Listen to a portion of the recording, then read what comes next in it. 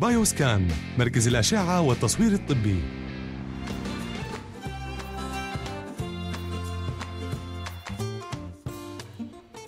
بفقرتنا الطبية رح نتحدث عن موضوع الرمد الربيعي. إيش هو كتعريف ايمتى بنبدا نشعر فيه؟ شو الأعراض؟ وأيضا العلاجات مع الدكتور محمود بطاينة. صباح الخير حضرتك أخصائي طب وجراحه العيون. أهلا وسهلا فيك دكتور. حياك الله صباح الورد. أهلا وسهلا دكتور. وخلينا بداية نعرف ما هو الرمد الربيعي؟ هلا الرمد الربيعي هو خلينا نحكي نفسه حساسية الربيع. فقبل ما نعرف الرمد الربيع أو حساسيه الربيع خلينا نعرف شو هي الحساسيه بشكل عام. هو نفسه كمصطلح. نفس نفس الشيء بالضبط. يعني الرمد الربيع أو حساسيه الربيع هي نفس المصطلح لنفس المرض. يعني الحساسية من تفتح الأزهار. نعم. فالحساسية هي عبارة عن إيش؟ عبارة عن رد فعل مناعي بينتجها الجسم عن طريق بسبب مسببات خارجية أو داخلية بالتالي بصير في عندنا إفرازات لمادة الهستامين من الأجسام المضادة بتؤدي إلى تهيج الأنسجة والأعضاء. فهي بتصفي إنه الحساسية اللي بتصفي اللي بتصير بالأنف أو بالجلد أو بالخصبات الهوائية أو بالعين هي وحده يعني نفس خلينا نحكي نفس نفس النتيجة.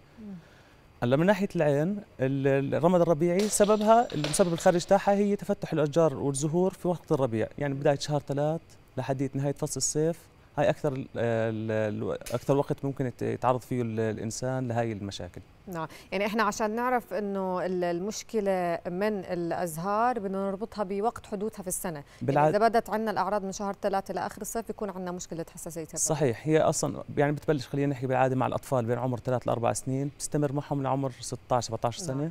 الاقليه بتبلش بتضلها معهم بعد ال 20 شو أهم الاعراض دكتور اللي ممكن نشعر فيها؟ أهم شيء من الأعراض يعني هي الحكة وإحمرار العين. يعني أكثر الأعراض انتشارا بالناس اللي عندهم حساسية الحكة وإحمرار العين. زي ما إحنا شايفين على الصورة يعني هي الطفل في عنده كمان انتفاخ في الجفن الحمار اللي بيكون على ملتحمة العين مع خلينا نحكي إفرازات السوائل وإفرازات الدمعية الزائدة. طبعا انتفاخ الجفون كمان بصير وهي الشغلات في صغار وكبار يصابوا فيها آه طبعا. بالضبط. يعني هو ببلش من عمر الطفولة لحد ما يكبر. هون كمان في بصير التهابات على ملتحمة العين بتكون قريبة حتى من القرنية لما تكون شديدة شوي. بالضبط. هي يمكن عند الأطفال لها مضاعفات أكبر بتكون من كثر الحكة. ممكن القرنية آه. تصير مخروطية في 100% المستقبل. 100% هاي من أحد المضاعفات الموجودة من من الالتهاب الرمد الربيعي اللي هي القرنيه المخروطيه اللي أكثر الناس تعرف عنه مع إنه في مضاعفات كثيرة ثانية. بسبب الحكة. بالضبط. كل مضاعفات أو معظم المضاعفات اللي بتصير من الرمد الربيعي هي الحكة. عشان هيك إحنا هدفنا كله نلغي الحكة الموجودة عند الأطفال. نعم. طيب هون عم نشوف إيش إيش ممكن يصير عندنا هلأ هاي من المضاعفات اللي بتصير. هلأ من كثر الحكة عند الطفل بصير في تقرحات على القرنية سلفنج للقرنية اللي هي ازاله الجزء الخارجية من القرنية. أوف.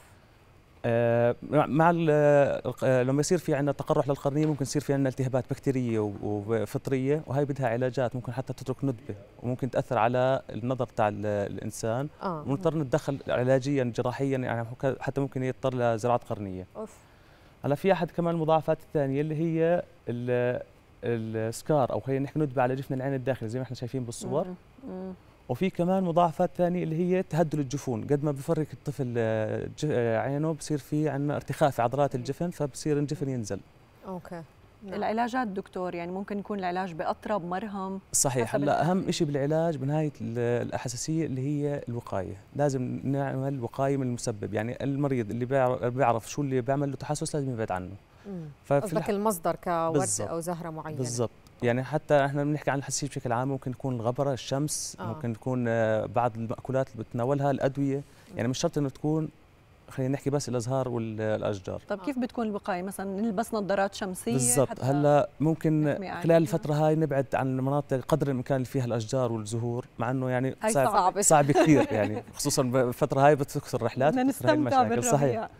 النظارة الشمسية ضرورية جدا خصوصا فترة الظهر يعني لما تكون الشمس حاملة لازم نظارة شمسية كمان الأطفال لازم نصير نشجعهم أنهم أول ما يروحوا من المدرسة غسلوا إيديهم مي والصابون غسلوا وجههم كويس. أهم شيء إنه كل الشغلات اللي بتعمل حك نلغيها.